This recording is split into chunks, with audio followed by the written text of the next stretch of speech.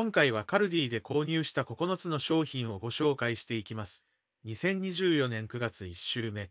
で、最初に2つの商品ですが、カルディさんでハロウィン商品が発売され始めたので気になって購入した商品をご紹介していきます。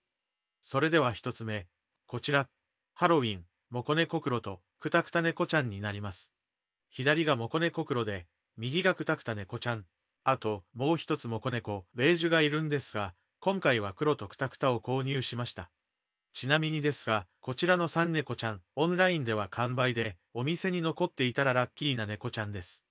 で、こちらなんですが、アメちゃんが1個ついています。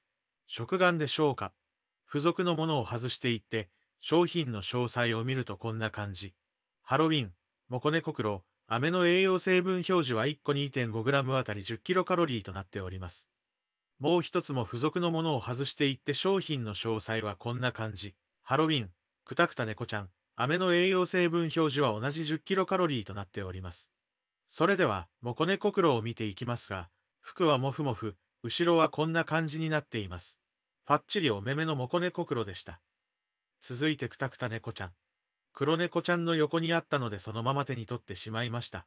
後ろはこんな感じになっています。で、こちら猫ちゃんたちにはボールチェーンがついています。アメちゃんになりますが、カルディさんで買い物してる方でしたら、一度は見たことがある飴かなって思っております。後ろはこんな感じ。それでは開けて、出してみるとこんな飴ちゃん。それではいただきます。いちごの飴ちゃん。ということでこちら、カルディさんでぬいぐるみ買うとは思ってませんでした。可愛いからよし。続いて二つ目、こちら、ハロウィンミニお化けライトになります。こちら早速開けていきます。開けてみると中には飴が2つ入っていました。こちら先ほどと同じかと思いますが、一応袋を開けて1ついただきます。で、メインのハロウィンミニお化けライト。こちら大きさは10センチくらい。ライトのスイッチはお化けの下側にあります。オフからオンにスライドするとライトがつきます。一旦部屋のライトを消してみます。で、こんな感じになります。程よい明るさっていった感じのライトです。可愛らしいタイプのお化けなので、テーブルに置いておこうかなって思ってます。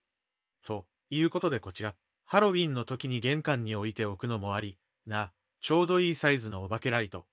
続いて3つ目、こちら、ラグノー、命、リンゴになります。ここからいつも通りの商品紹介になります。説明書きには、滑らかなカスタードクリームの中に、青森県産リンゴで作った果肉入りアップルソースを閉じ込めたふんわりケーキです。と書かれてあります。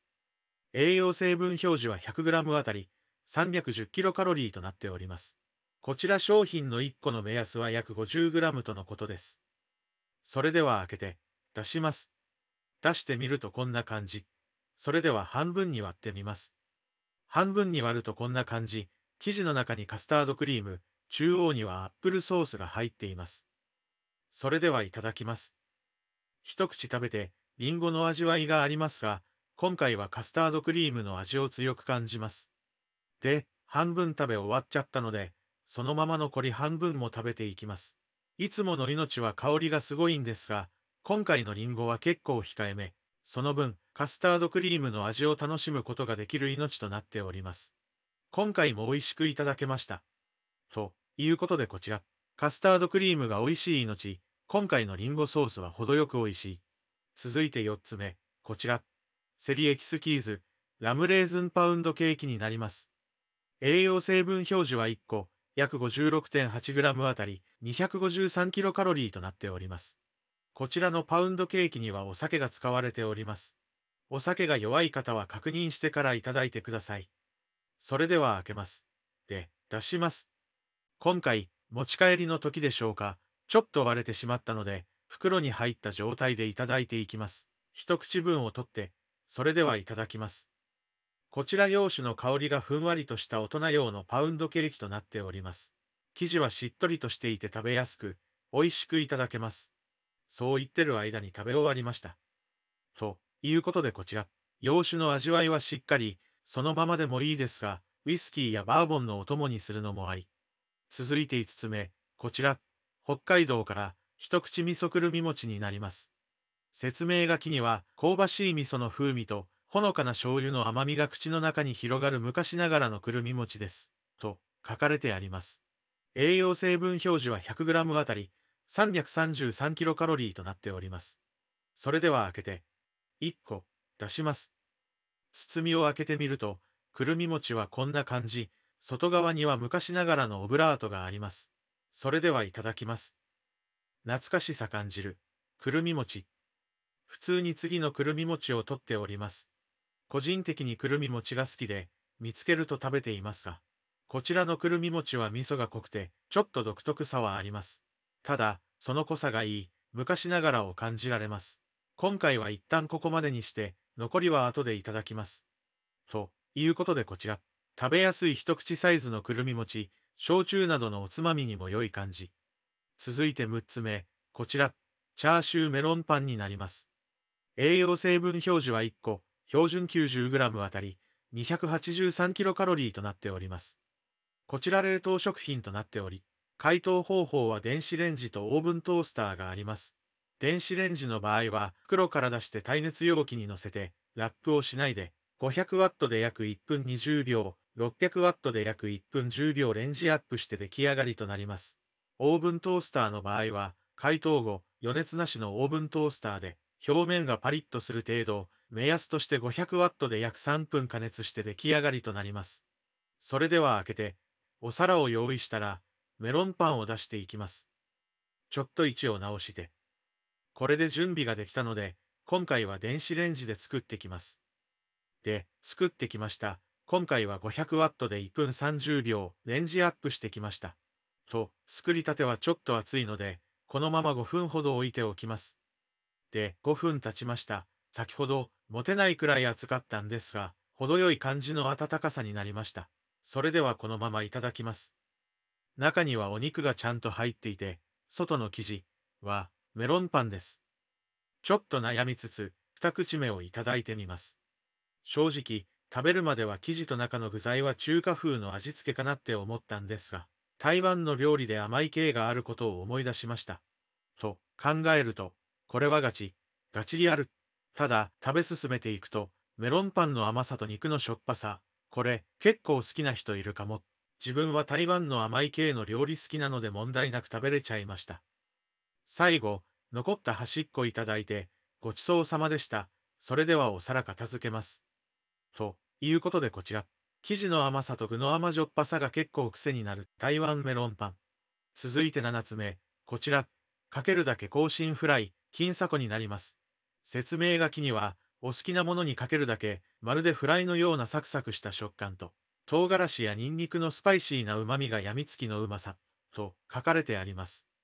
栄養成分表示は1袋 12g あたり 48kcal となっております。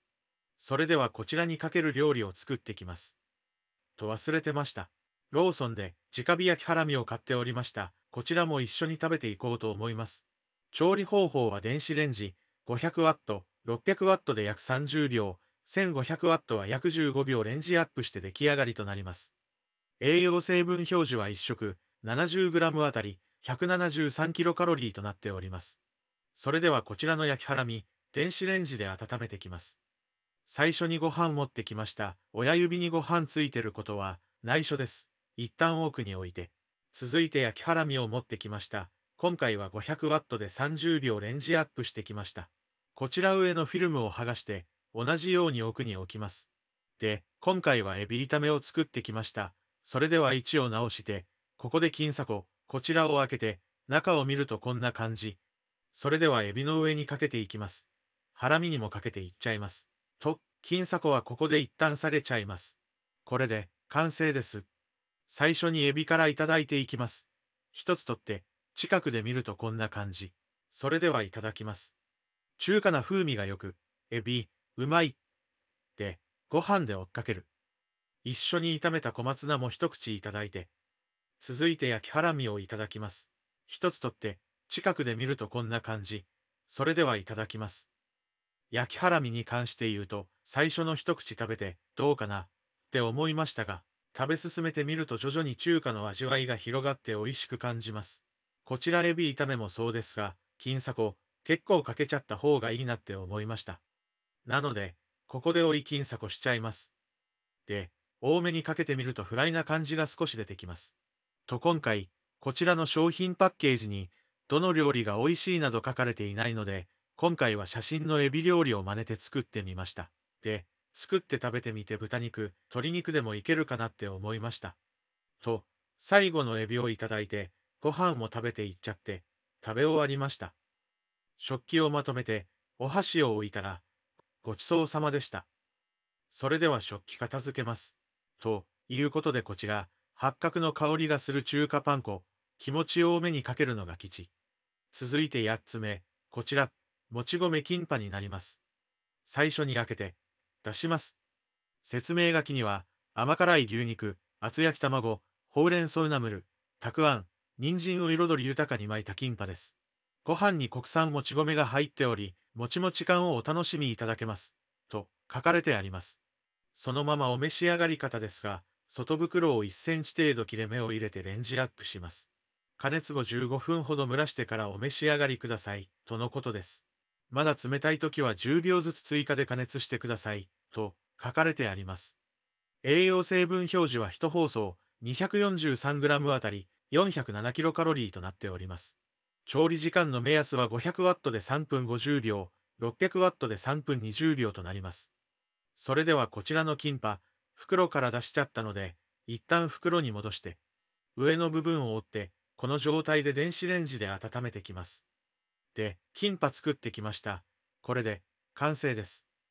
一巻き取って、近くで見るとこんな感じ。具材いろいろ入ってます。それではいただきます。もちうまい。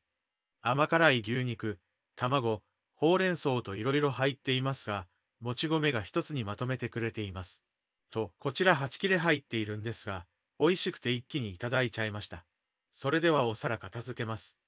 ということでこちら、もちもちのキンパ、レンジにかけた後、ちゃんと蒸らしてからいただいてください。続いて9つ目、こちら、野菜たっぷりもつ煮込み、味噌仕立てになります。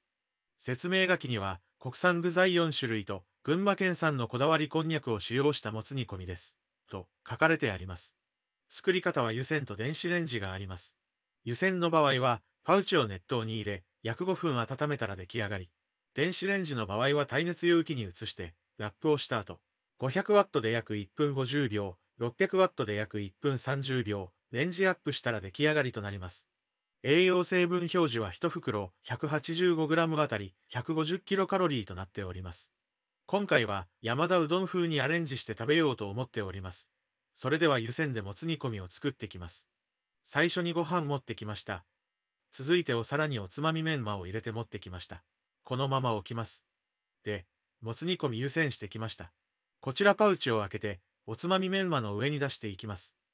で、ここにネギ、こちらを上にかけていきます。最後に、もつ煮込みと言ったら一味、こちらちょっと多めにかけていっちゃいます。ちょっと位置を直して、これで完成です。もつを一つ取って、近くで見るとこんな感じ、ちょっと小ぶり、それではいただきます。ちゃんと煮込まれてて、もつうまい。で、下のメンマと一緒に食べていきます。山田うどんのパンチとちょっと味違いますが、おつまみメンマだとメンマのフレッシュさがあって、これはこれで美味しいです。個人的意見。煮込みの味噌加減もちょうどよく、パクパクと食べていけちゃいます。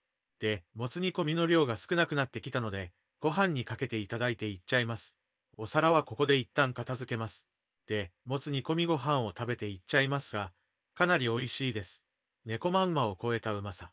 そのまま一気にいただいて、食べ終わりました。お箸を置いたら、ごちそうさまでした。食器片付けます。